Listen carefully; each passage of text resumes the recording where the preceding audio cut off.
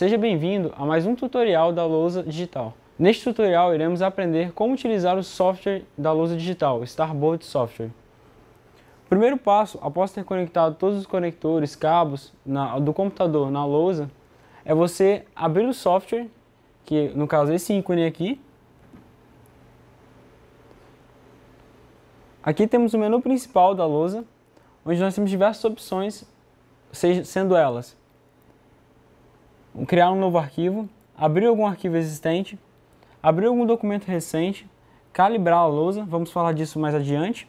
Aqui nós temos opções de conferência, onde você pode hospedar uma conferência ou ingressar em uma conferência, e temos outros recursos adicionais da lousa. Bom, vamos começar com o processo de calibragem da lousa.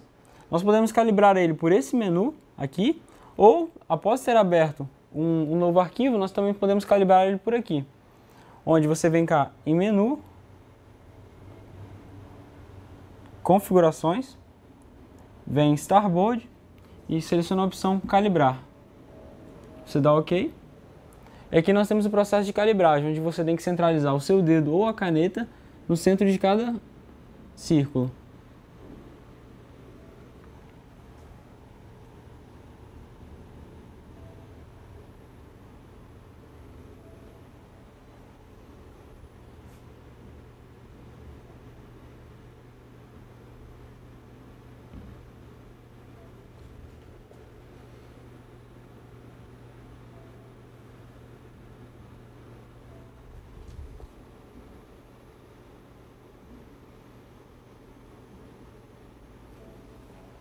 Feito isso, a luz está calibrada de acordo com o seu toque. Porém, para um primeiro acesso, uma primeira utilização, é recomendável que você selecione essa opção direto no computador, ou seja, com o mouse, já que a lousa não vai estar devidamente calibrada ainda. Você seleciona lá, vai abrir o menu para você calibrar, então você vem com o seu dedo e, calibra ela. Essa é a nossa área de trabalho da lousa digital. É, é nesse quadro branco onde você vai desenvolver os seus trabalhos, vai poder escrever, desenhar, etc. Aqui você pode fazer tudo, porém, a lousa ela também te dá a opção de você utilizar o computador através dela, onde você tem diversas opções que podem ser acessadas tanto por esse menu ou pelo menu dentro do próprio software. Aqui nós temos a, a primeira opção do menu lateral. Ela trata de você trocar o, o ponteiro para ele escrever ou para ele clicar. A segunda opção para o ponteiro que quando você tocar com, com ele é para abrir o botão direito, se você estiver na, na parte da área de trabalho. Aqui é esconder, esse menu, se você apertar novamente ele volta. Temos a opção também de criar novas abas, se você reparar lá no canto. Tem o um número de páginas, se você clicar aqui, eu vou criar uma nova página. Uma nova página. Aqui é a opção de voltar página, avançar página, inserir tabelas. E aqui nós temos também um botão muito importante, que ele alterna o modo de exibição da sua lousa digital. Aqui nós estamos na, no modo de exibição da área de trabalho da lousa digital, e se eu apertar esse botão, eu mudo para o modo de exibição da área de trabalho do meu computador. Ou seja, através da lousa, posso manusear o meu computador da forma que eu quiser.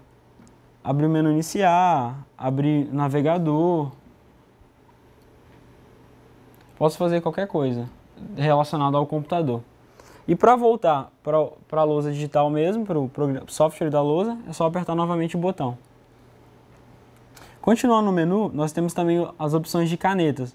Aqui, na verdade, aqui são atalhos para as canetas que o software tem, mas ele tem mais opções, onde você pode selecionar a caneta, ela vai escrever normal, se você mudar aqui ele vai mudar a cor. Aqui são atalhos para algumas cores, mas aqui embaixo você também já pode mudar a cor, colocar a cor que você preferir, o tipo, espessura, o tipo da linha, se é tracejada, se é pontilhada. Aqui nós temos a borracha, onde se você selecionar você pode apagar tudo que você desenhou e tal, ou você pode limpar a tela toda ao clicar nessa opção. Caso tenha algo escrito,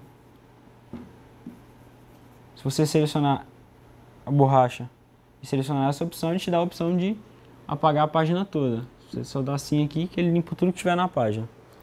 E aqui embaixo tem dois, dois botões um pouco diferentes dos outros, por quê? Porque eles não têm um desenho específico. Eles são botões que servem para você acrescentar o atalho que você quiser. Às vezes você usa muito inserir imagem, então você pode pegar a opção de inserir imagem e jogar para esse botão para que você não precise ficar abrindo vários menus, você vem cá direto. Isso é algo que você pode configurar aqui no menu de configurações, configurações do botão de função. Ao clicar aqui você abre o menu. Aqui mostra o botão, como ele é aqui, do lado esquerdo, e do lado direito a função que ele está realizando. Então aqui você pode selecionar o botão e modificar da forma que você preferir. Por definição, esse primeiro botão está na opção de calibragem. Então ao clicar aqui eu já vou direto para calibragem. Se clicar novamente até cancela o processo. O segundo ele está sem nenhuma opção, então ele não está fazendo nada porque eu não acrescentei nada. Mas caso você precise, você pode fazer. E continuando nossa apresentação do software, aqui em cima nós temos um menu onde você tem diversas opções relacionadas ao software. Aqui na lateral nós temos um menu de ferramentas, onde você, pode, onde você encontra muitas das ferramentas que estão nesse menu lateral físico, você também encontra aqui e também encontra muitas outras ferramentas a mais. No canto superior direito, nós temos também um contador de páginas, que ele marca a página onde você está e o número de páginas que contém o documento, e também um indicador de qual ferramenta você está utilizando. Por exemplo, se a borracha estiver lá, vai indicar que eu estou usando a borracha, mas se eu selecionar outra ferramenta, como o lápis, indica lá em cima que eu estou usando o lápis.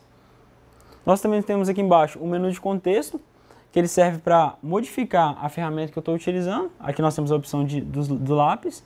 Se eu selecionar a borracha, eu tenho as opções da borracha e qualquer coisa que eu selecionar, ele vai me dar as opções de personalização. Nós temos também as barras de rolagem, que ficam aqui embaixo, caso a página passe do tamanho. Caso a página passe do tamanho, você pode movimentá-la conforme você quiser. E também do lado de lá nós temos a barra de rolagem vertical. Nós também temos a barra lateral, que fica aqui nesse canto. Você pode jogar ela para de lá também, sem problema, mas esconder nesse outro menu. Se você selecionar algum elemento da barra lateral, você vai ter diversas opções para trabalhar referente à, opção que você escolheu.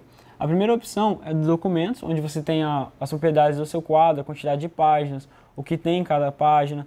Você também tem também tem anexo, se tiver, quiser anexar algum arquivo à sua, à sua página, você pode anexar por aqui.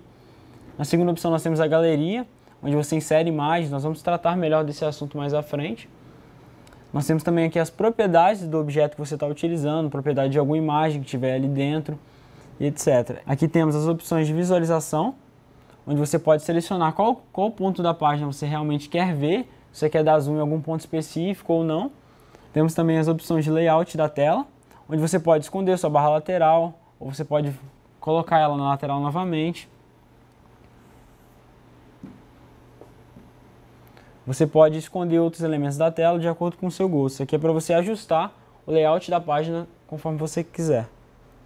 E no final nós temos as opções de conferência, onde você pode abrir uma conferência ou ingressar em uma conferência, assim como no menu principal do software.